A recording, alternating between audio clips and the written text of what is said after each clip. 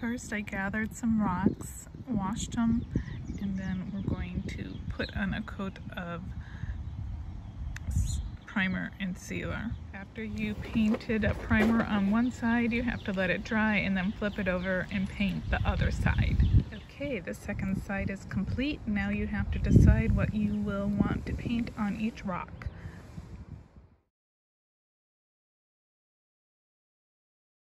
The next step is to apply a coat of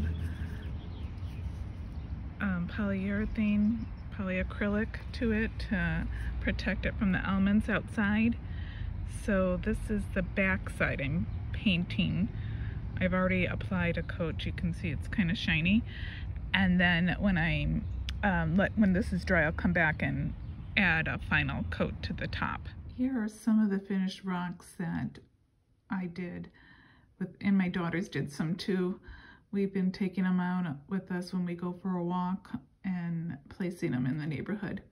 Just try to brighten up people's day during this quarantine. Okay, I hope you guys enjoyed this video and um, if you have any rocks and you have the supplies, paint some. Okay, thank you.